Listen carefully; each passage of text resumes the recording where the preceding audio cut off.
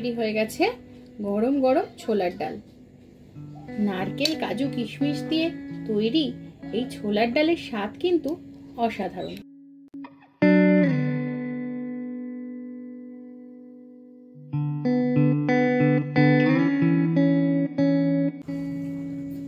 গরম গরম ছোলার ডাল রেডি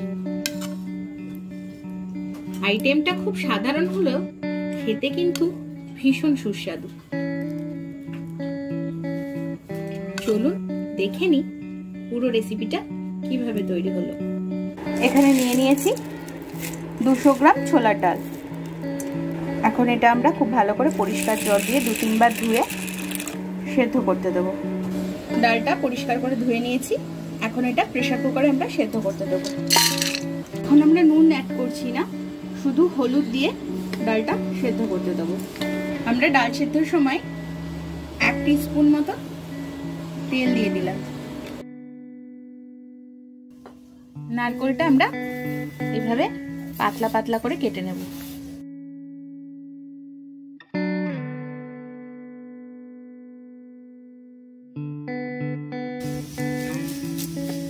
লঙ্কাগুলো চিড়ে নিলাম। কীরকম হয়েছে? ডালটা একদম পারফেক্টলি সেদ্ধ হয়েছে। আমাদের এরকমই চাই। আমরা দু কাপ ডালে দেড় কাপ জল দিয়েছিলাম। তাতে ডালটা এরকম ঝরঝরে শুকনো কিন্তু সেদ্ধ হয়ে গেছে খুব সুন্দর করে। চলুন এবার ডালটা রান্না করতে চলে যাই।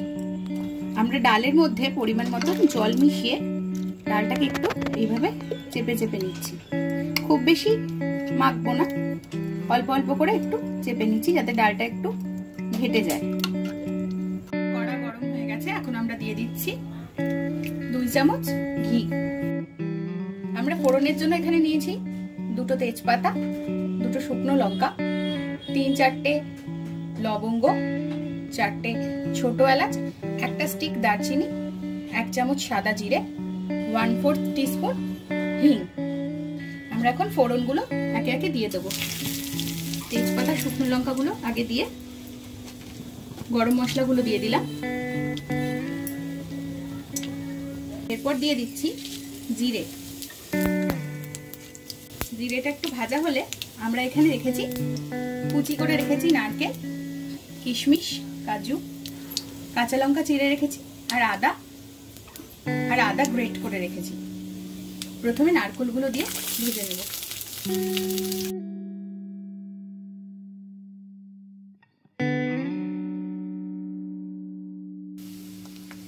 নারকেলটা ভাজা হয়ে গেছে।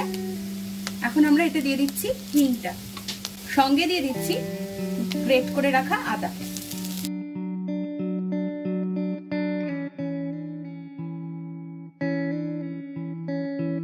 এখন এর সাথে সাথে দিয়ে দিচ্ছি কাজু আর কিশমিশগুলো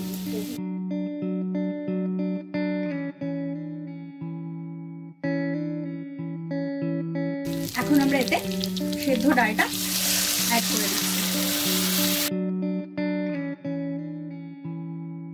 এখন আমরা এতে দিয়ে দিচ্ছি স্বাদ মতো নুন। আমি এখানে এক স্পুন নুন ব্যবহার করলাম। আর দিয়ে দিচ্ছি দু চামচ চিনি। এর সাথে সাথে দিয়ে দিচ্ছি চেরা কাঁচা লঙ্কাগুলো। আমাদের রান্না প্রায় শেষের পথে। এখন শুধু ডালটা ফুটে ওঠার অপেক্ষা। ডাল ফুটে উঠেছে। এখন আমরা এতে অ্যাড করে দিচ্ছি এক চামচ গরম মশলার গুঁড়ো। আর দিয়ে দিচ্ছি এক চামচ ঘি।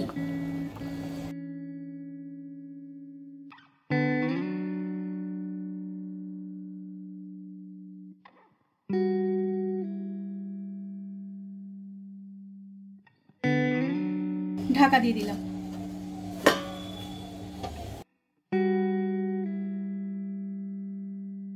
গরম গরম পরোটা দিয়ে ছোলার ডাল সার্ভ করে দিয়েছি। তো বন্ধুরা, রেসিপিটা ভালো লাগলে অবশ্যই আমার চ্যানেলটিকে সাবস্ক্রাইব করবেন। আরও নতুন নতুন রেসিপি নিয়ে আমি হাজির হয়ে যাব।